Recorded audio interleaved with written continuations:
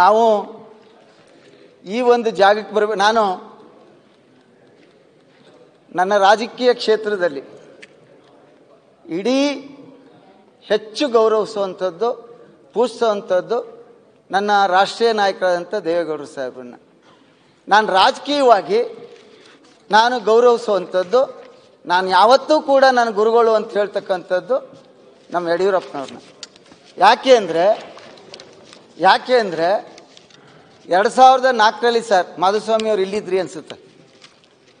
ನಾನು ಕೃಷ್ಣರಾಜನಗರದ ಅಭ್ಯರ್ಥಿ ಆಗಬೇಕು ಅಂದಾಗ ಇವತ್ತು ಅನಂತಕುಮಾರ್ ಅವರಿಲ್ಲ ಇವರು ಇದ್ರ ಪಕ್ಷದ ನೇತೃತ್ವವನ್ನು ಅವತ್ತು ಯಡಿಯೂರಪ್ಪನವ್ರು ವಹಿಸಿದ್ರು. ನನಗೆ ಬಿ ಫಾರಮ್ ಕೊಟ್ಟರು ನಾನೊಂದು ಕಂಡೀಷನ್ ಹಾಕ್ತೆ. ಏಯ್, ಎಲ್ಲ ಇಲ್ಲಿ ಬಿ ಫಾರಮ್ಗೆ ಅಳ್ತಾ ನಿಂತ್ಕೋತಾರೆ. ಇವ್ನು ನನಗೆ ಕಂಡೀಷನ್ ಆಗ್ತಾನೆ. ಹೋಗ ಹೋಗಿ ನಾಮಿನೇಷನ್ ಫೈಲ್ ಮಾಡು ಅಂತೇಳಿ ಅವತ್ತು ಹೇಳಿ ಕಳಿಸಿದ್ರು. ಬಹುಶಃ ಅವತ್ತು ನಾನು ಹೋಗದೆ ಇದ್ದಿದ್ರೆ ಇವತ್ತು ನಾನು ಇಲ್ಲಿ ಶಾಸಕನಾಗ ಬರ್ತಿರ್ಲಿಲ್ವೇನೋ.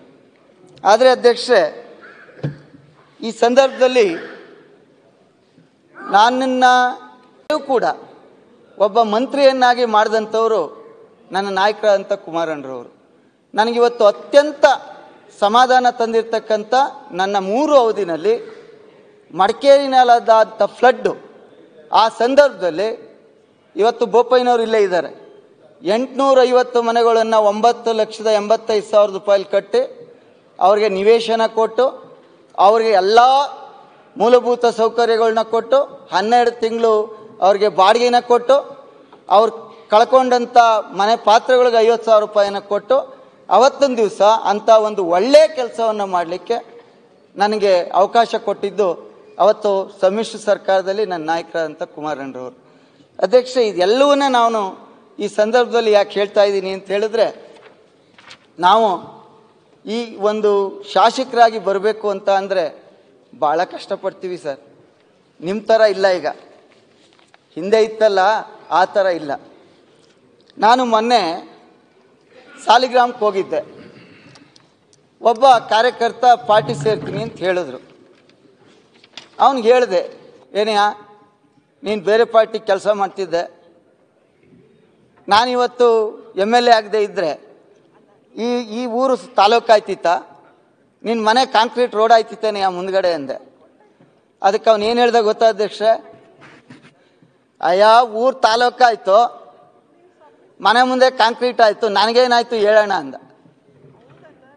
ಆಗ ನಾನು ಅವನಿಗೆ ಹೇಳಿದೆ, ಅಲ್ಲಪ್ಪ ನಾವು ಡಾಕ್ಟರ್ ಬಿ ಆರ್ ಅಂಬೇಡ್ಕರ್ ಹೇಳಿರ್ತಕ್ಕಂಥದ್ದನ್ನು ಪಾಲನೆ ಮಾಡಬೇಕು ನೂರಕ್ಕೆ ನೂರು ಆಗದೆ ಇದ್ರೂ ಅವ್ರೇನು ಹೇಳಿದ್ದಾರೆ ನಾವು ರಾಜಕಾರಣಕ್ಕೆ ಬರುವಂಥದ್ದು ರಾಜಕಾರಣ ಸೇವೆ ಅಲ್ಲ. ರಾಜಕಾರಣ ಉದ್ಯೋಗ ಅಲ್ಲ, ಅದು ಸೇವೆ. ನಮ್ಮ ಬದುಕನ್ನು ಕಟ್ಕೊಳ್ಳೋಕ್ಕೋಸ್ಕರ ಅಲ್ಲ ರಾಜಕಾರಣಕ್ಕೆ ಬರೋದು. ಇತರರ ಬದುಕನ್ನು ಕಟ್ಕೊಳ್ಳೋಕ್ಕೋಸ್ಕರ ನಾವು ರಾಜಕಾರಣಕ್ಕೆ ಬರುವಂಥದ್ದನ್ನ ಅಂತ ಹೇಳಿದ್ದಾರೆ ನಿನ್ನ ಅರ್ಥ ಏನಂಗಾದ್ರೆ, ಜನರಿಂದ ಹೊಡಿಬೇಕು ನಿಮ್ಮಿಂದಲೇ ಹೊಡಿಬೇಕು, ನಿಮಗೆ ಕೊಡಬೇಕಾ? ನಾವು ಇವತ್ತು ಏನಾಗಿದ್ದೀವಿ ಅಂದರೆ, ಇಲ್ಲಿ ಜನರ ಸಮಸ್ಯೆಗಳನ್ನ ತಿಳ್ಕೊಂಡು, ಕಾನೂನನ್ನ ಬದಲಾವಣೆ ಮಾಡಿ, ಜನರಿಗೆ ನ್ಯಾಯ ಕೊಡುವಂಥದ್ದನ್ನ ಮಾಡಬೇಕು ಅಂಥೇಳಿ ನಮ್ಮನ್ನು ಆರಿಸಿ ಕಳಿಸಿರುವಂಥದ್ದು. ನಾವಿಲ್ಲಿ ಕಾನೂನು ಮಾಡ್ತೀವಲ್ಲ, ಅಲ್ಲಿ ಕೂತಿರೋ ಪುಣ್ಯಾತ್ಮರು ಎಲ್ಲರೂ ಪಾಲನೆ ಮಾಡ್ತಾರಾ? ಈಗ ಅವ್ರು ಹೇಳ್ದಂಗೆ ನಾವು ಕೇಳೋದಾಗ್ಬಿಟ್ಟೈತೆ ಏನೋ ಒಂದಷ್ಟು ನಮ್ಮ ಯಡಿಯೂರಪ್ಪ ಸಾಹೇಬ್ರು ಇದ್ದಾಗ ಸ್ವಲ್ಪ ಎದುರಿಸಿ ಐ ನಾನು ಹೇಳ್ತಾ ಇದ್ದೀನಿ, ಮಾಡು ಅಂತ ಹೇಳ್ತಿದ್ರು. ನಮ್ಮ ಕುಮಾರಣ್ಣವ್ರು ಒಂದಷ್ಟು ಪ್ರೀತಿಯಿಂದ, ಆಯಿತು, ಮಾಡ್ರಿ ಅಂತ ಹೇಳ್ತಿದ್ರು. ಈಗ ಬೊಮ್ಮಾಯಿ ಸಾಹೇಬರು ಪರವಾಗಿಲ್ಲ. ಆದರೆ ಇವತ್ತು ನಾವು ಕಾನೂನನ್ನ ಮಾಡುವಂಥವರು, ಯಾರು ಪಾಲನೆಯನ್ನು ಮಾಡಬೇಕು ಅವರಿಗೆ ಹೆಚ್ಚು ಒತ್ತನ್ನು ಕೊಡ್ತಾ ಇದ್ದೀವಿ. ಅವ್ರು ಹೇಳ್ದಂಗೆ ನಾವು ಕೇಳ್ತಾ ಇದ್ದೀವಿ.